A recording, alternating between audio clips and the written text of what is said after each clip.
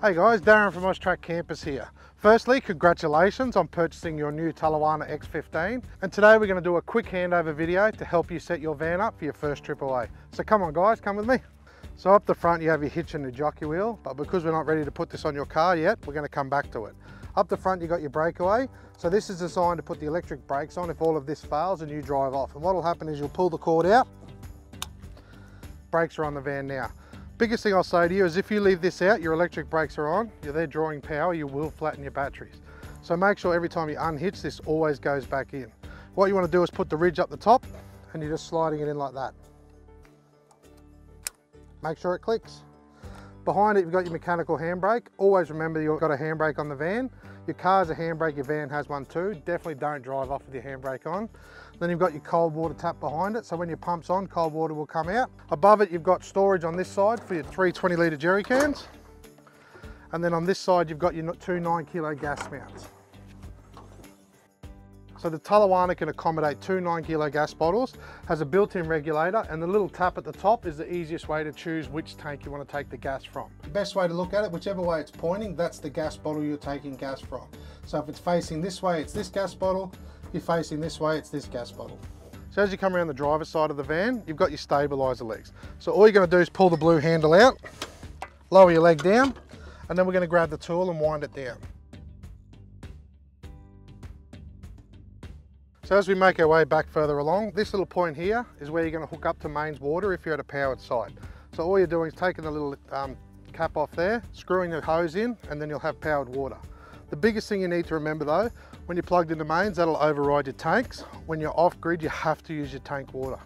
Speaking of tank water, there's two fill points. So you have a 120 litre tank at the front, 120 litre tank at the rear. This is the fill point for your front tank, and this is the fill point of your rear tank.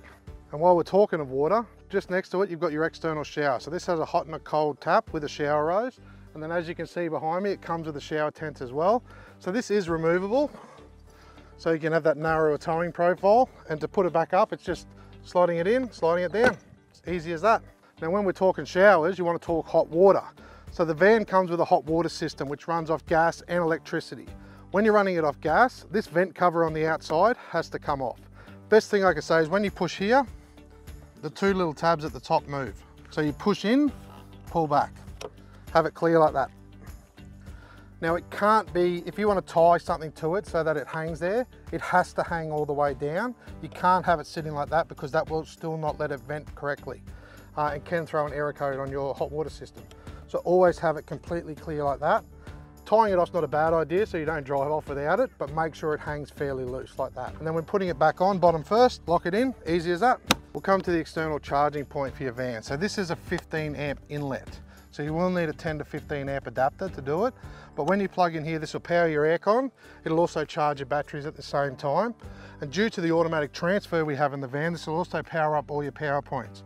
If you're off grid, your power points will only run off the 2000 watt inverter. So now we come to the toilet cassette. Normally when I ask whose job's this, someone points and smiles, the other person goes, oh, it's mine. But anyway, I'll show you the easiest way to do it. So just below you're going to have a little lever. You just want to lift that up, slide the cassette out. So what you're going to do is this turns to the side. You're going to unscrew the little cap.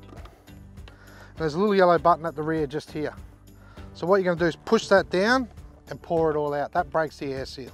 Once you're finished, lid back on, turn that back to the side, and then the biggest tip I'll give you, cleaning up out here is a lot easier than trying to clean up in there. So always make sure it's in nice and snug like that. So as you come around the back, you have two recovery shackle points at the back. So one located there, one located there. You want to triangle them out to a central point and pull from there if you ever have to use them. Above you've got your reverse camera as well. That'll come with a screen so that you can got proper reversing when you got your van. And then you can see your two clip points at the top. That's when you want to put up the electric roof. So as we come around the front of the van, we'll skip the door for a sec. We'll head on that when we go inside. We'll come to your bar area. So that just drops down nice and easy like that. Also an external mount for your TV with a recessed chopping board. You come to your kitchen area. You've got storage at the top, kitchen at the bottom. So setting this up very easy. You've got your two little blue handles in the corners. Push them down, slide the unit out. You're gonna undo the little bungees to put your little wings over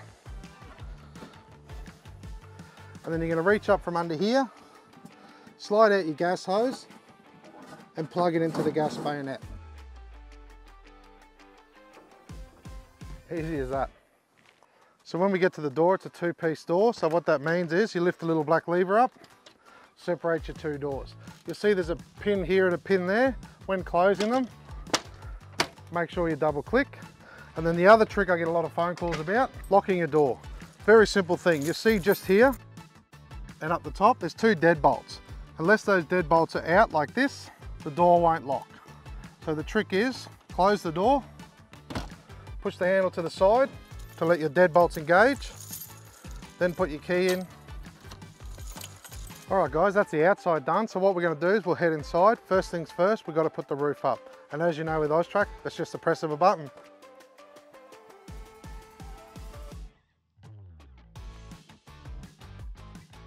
So as we spoke earlier, the van does have two 120 litre freshwater tanks. So located just here is your hot water system, but also the ball valve to choose which tank you're going to take the water from. So on there, there's an F and an R. Basically, it's simple as point at the F at your front tank, put it to the R at your rear tank. Alrighty guys, using the toilet in the Talawana X15, really easy. Basically, it's a three-step process. Number one, you want to put the seat up, pull this little slide out. That slide opens a little slide at the bottom. Number two, well that's up to you. It's either number twos or number one. Finally, once you've finished, you're going to press the button at the rear to flush and then push your slide back in. Simple as that. All right guys, we have the brains trust here of all the hybrid caravans. Uh, so let's go through it now. So what we'll do is open the door. So we have this button here and this is main switch. So think of this as master control for your van. If you want to operate anything in your control panel, need to have that on. So we turn that on now. As you can see, it lights up blue. Then as we go across on the buttons, first one here is your light. So this gives power to all the light switches and all the van. So at the moment you saw a couple of other lights come on, that means they're already switched on. So if I turn this one off, this one here is obviously the button on the left hand side of the van. This one's the button on the right hand side of the van. This one's the button for the right at the rear of the van. This one's dimming, so this changes your lights on the outside from white to yellow. Very easy like that. Dome light is the light directly above me, and the handle light is the, obviously the light in the handle. As we come along, you have power fridge here. So this gives power to not only your internal fridge, but the fridge slide outside. So if you want your fridges running, you have to have that switch on. Next one across ciggy socket. So if I turn that on, this gives power to all your 12 volt and USB points in, in around the van. Next one, of course, is your pump. So that's your water pump. So if you turn that on, the pump will run. If you turn it off, the pump will stop. So I always say on when running and off when you're not using your pump. Above it, you have your indicators for the water. So you've got half a tank in the front tank. So you've got front tank, you've got rear tank, you've got grey water tank. Nice and easy like that. This is the switch to make your roof go up and down. Obviously, if you want your roof to go up, you hold it in. If you want the roof to go down, you hold it down. Below it is the switch for the awning. So up, let your awning come out. Down, let your awning come in. Neutral is sitting it in the middle. And then below it, we have the switch for your electric step as well. So obviously you switch that one way, the step will go out. Switch it the opposite way, the step will come back in. This switch here is for when you're plugged into mains power and you are using your hot water off mains power. So flick that on, 20 minutes later you'll have hot water. If you're off grid, you need to use this switch here. So at the moment it's in neutral. So first thing you need to do is make sure that the vent covers off as we showed you outside. You want your gas bottles in the front compartment turned on and then you're going to flick it to either 60 degrees or 70 degrees. So what we'll do is flick it up. You'll hear a little click. In 20 minutes you should have hot water. So at the moment we have no gas in this van. So a little red light's about to come on. So see this red light here?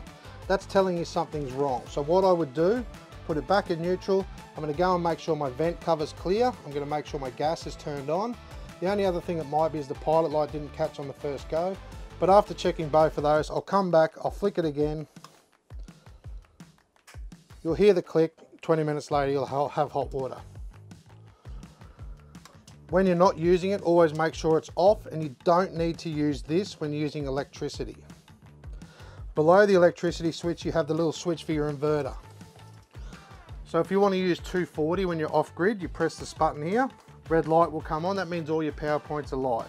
When you fit, when you're not using your inverter, always make sure it's turned off. So make sure no red light because the inverter will keep inverting your batteries even if you're not using the 240. So last but not least, you have your REDARC BMS 30 or your battery management system. So this has more functions than I'm going to be able to explain now. So what I say is in your van right now, you're going to have the manual. Make sure you give it a good read and then that way you can use utilize all the best functions of the Redarc BMS 30. So last thing we're going to touch on in this handover is obviously setting up your electric awning. So what I'm going to do is put the switch in the up position and the awning's going to start coming out. So it has to be supported out. So what I'm going to do is drop one of the legs down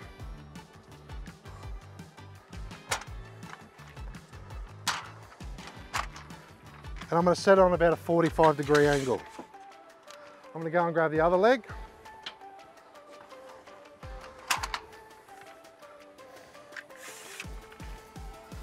Same with that one. And now I'm going to use the legs to support my awning out.